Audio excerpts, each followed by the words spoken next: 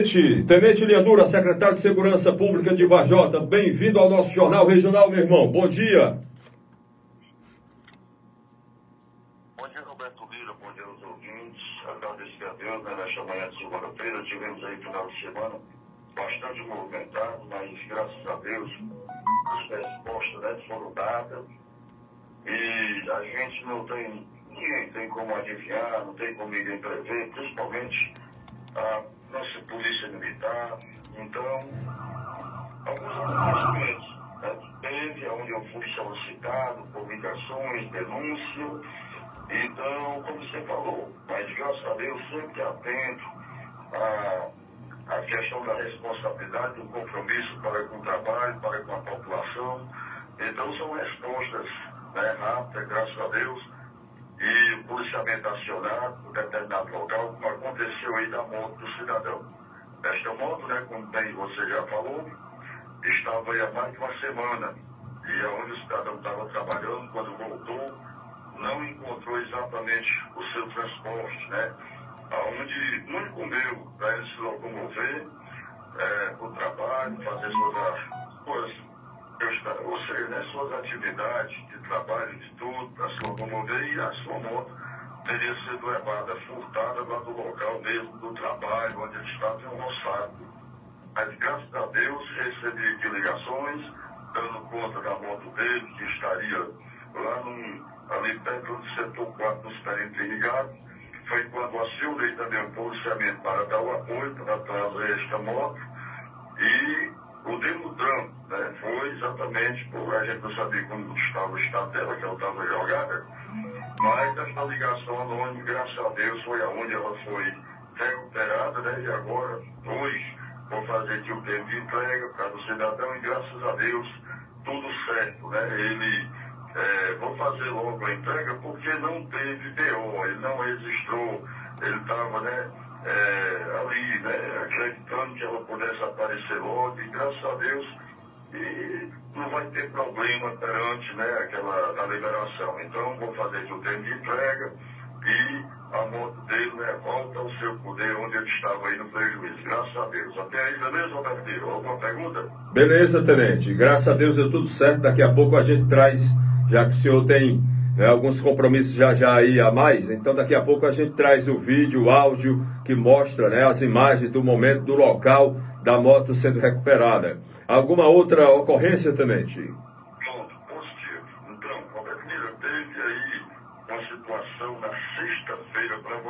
Cidadão estava trabalhando em um comércio, de um, restaurante bastante movimentado, aqui da cidade. E aí ele saiu já volta de mais de meia-noite para, sua, para a sua residência, onde ele mora ali depois da de Tocaia, saindo aqui já região ali daquele distrito aqui do Sangradouro.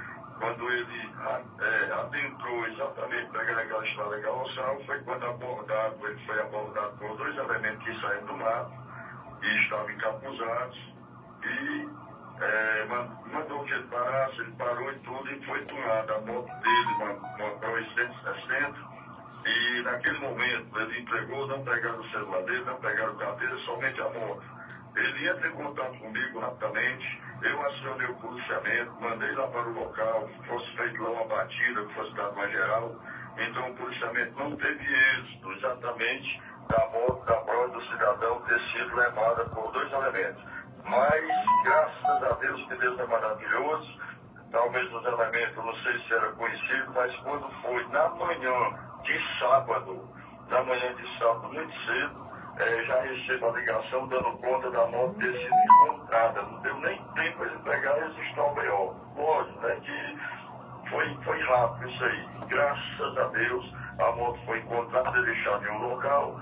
E foi quando o cidadão mesmo, né, a esposa dele, já entrou em contato comigo na manhã cedo, logo de sábado, e a sua moto, graças a Deus, foi encontrada, então não teve nenhum problema aí dela ter sido usada aí para praticar outros delitos aí, né? Então, a gente não sabe o que, que aconteceu, mas os elementos é, resolveram deixar a moto e a moto foi recuperada exatamente pelo próprio dono, onde uma pessoa lá, um cidadão, viu e comunicou ele a moto exatamente já voltou para a sua mão. Ok, Roberto? Foi um negócio muito rápido, viu? E até mesmo é, é, é, eu policiamento, que era que estava de serviço e tudo, passei é, para o Copom, mas aí, graças a Deus, a moto já encontrada, ok? Até aí? Ok, tenente, ok. Muito boa informação. Gra a princípio, uma informação ruim, mas em seguida, graças a Deus, o resultado bom e a moto foi né, recuperada pela. É, ou seja, o cidadão voltou a, né, a ter sua moto de volta. Alguma outra ocorrência, tenente? Positivo, então pronto. Então agora nós vamos exatamente para uma lesão à faca, né, exatamente aconteceu no perímetro, onde o cidadão, o cidadão né, tem suas bebidas e tudo e tal, mas tem um cidadão, foi espancado aí por, por elementos, a gente não tem como precisão passar de nome, somente suspeita onde na manhã de hoje será feito aí né, esse boletim perante a polícia né, judiciária, a polícia civil aqui de Bajota. O cidadão recebeu uma furada, foi, foi espancado, mas que não foi levado nada dele. Aí né, a gente não sabe o que, que aconteceu, é, não foi citado o nome, mas o cidadão deu entrada no hospital de Vajota, onde foi encaminhado para a Santa Casa de Salgado, no atendimento né, logo de pronto, exatamente pela lesão sofrida é, por elementos. E a, o estado dele de saúde não estava muito bem, mas eu acho que é, já na, isso, isso Roberto, foi já na, na manhã, ou seja, né, na, na quando aconteceu. Gente... Eu tomei conhecimento, foi por volta das quatro da manhã, lá no perímetro irrigado setor 4, é, zona rural de Vajota, né? E segundo a irmã dele, com quem a gente teve acesso, é, e, e os elementos teriam entrado na casa do cidadão. Foi isso mesmo, tenente? É. Exatamente, exatamente. Então aí foi o que aconteceu, procuraram vir até a minha residência aqui mesmo. Eu também atendi de pronto tudo, aquela atenção mas que ele, eu orientei né, exatamente para ser registrado aí hoje, na manhã de hoje, é, perante a, a Polícia Civil, né, a Polícia Judiciária. Então, foi uma situação que a gente não sabe assim por certo quem seria né, os autores aí, os elementos, mas que foi isso já na madrugada, né, onde o cidadão sofreu esse espancamento e também uma, uma furada, né, lesões da faca. Mas aí é, encaminhado logo rápido, né? Deu entrada logo é, aqui no pronto atendimento, daqui foi transferido para Sobral, e é onde a família me procurou e eu passei exatamente para ser que registrasse perante a Polícia Civil. Ok, aí? Ok, tenente. Ah, ok. Beleza, beleza. então, Verdeira, e quando foi na noite de ontem, é, recebo também aqui outra ligação, informação, dando ponto ali na, na, na Cajazeira, né? Cajazeira onde é, cidadão, ele, ele, com, ele tem assim, também fala demais, né? Tudo, e acabou dizendo que tinha dinheiro e tudo. E chegou lá duas pessoas lá, não tem assim, nome e tudo, mas eu acredito que é, levaram o celular dele, é, chegando lá atrás de dinheiro e tudo, mas exatamente livre de policiamento, foram até o local, mas tinha um cidadão que falava, né, tinha dinheiro, tudo e tal. Então, eles aproveitaram, achando que ele tivesse dinheiro em casa, e foram até lá, mas lá levaram só o celular dele, porque não encontraram exatamente o dinheiro que ele falava que tinha, né? Não sei se você sabe, ele já de idade, tudo, e acabou que os indivíduos aí, é, achando né, que é, pudesse ter dinheiro em casa. Então, foi levado o celular dele, mas não, é, é, não foi identificado quem seria esses, esse, aliás, os elementos, né, os autores aí, exatamente de ter chegado lá e a procura lá do, do, do, dinheiro lá do cidadão. Isso nas cagazeiras, ok, Roberto? Ok, tenente. E. e pois não. Pronto, e fechando aqui a, a minha participação, então assim, quero aqui é, aqui o policiamento né, local, exatamente desses atendimento rápido, tudo, as denúncias, as ligações que são feitas, você sabe que eu me torno até mesmo Copom. É, tem que de informações, a questão das pessoas confiar, saber que eu vou dar uma resposta, saber que eu vou a procura, e ali já tem um corretor imediato do policiamento, aquela ocorrência solicitada, aquela ocorrência é, em determinado local. Então, isso é importante porque ganha todo mundo quando eu falo desse atendimento é, dentro né, dessas situações que não tem como ninguém prever. Mas, graças a Deus, essas respostas são dadas e as pessoas acreditam sabem que eu faço o que eu posso. Então, pronto, e aí, é, dentro dessas informações, só fechando aqui a participação, e nós teríamos em uma semana da paz, mas dizer que estou sempre à disposição meu telefone. Quem não tem, pode aí anotar, tá certo? Que é 99658 2023, estou sempre à disposição da sociedade brasileira. Do mais, quero aqui agradecer, que Deus abençoe a todos. Valeu, tenente. Tá aí, portanto, meus amigos, nós agradecemos ao tenente Linha Dura, secretário de Segurança Pública de Vajota, várias ocorrências aqui que ele nos repassou, né? Prestando contas com a população, informando sobre o plantão policial do final de semana, né? Que teve, portanto, várias ocorrências, né? Muitas delas, muitas vezes, é o, os próprios cidadãos, né, as próprias pessoas poderiam fazer sua parte para evitar, né? Muita coisa pode ser evitada por cada um de nós, né? Tem coisas que não dá para ser evitada, mas outras tem como ser, né? Com prudência, observando, evitando determinados locais, né? Que são mais né, críticos, tem uma possibilidade maior de ser inseguro. É claro que hoje em dia, né, a nossa segurança mesmo maior é o nosso Deus, nosso protetor, mas o ser humano sempre pode fazer alguma coisa a favor dele mesmo fazendo sua parte para o seu próprio bem. Então, meus amigos, aí está um relato da participação do tenente Linha Dura, secretário de Segurança Pública de Vajota, um resumo a respeito destas ocorrências policiais do final de semana aqui da cidade de Vajota, fatos que é, chegaram ao conhecimento dele e aí, você que tomou conhecimento de algum fato que o tenente não falou, certamente é porque ele não tomou conhecimento. E aí, como ele mesmo sempre fala, o ser humano geralmente não tem o poder de adivinhar. Né?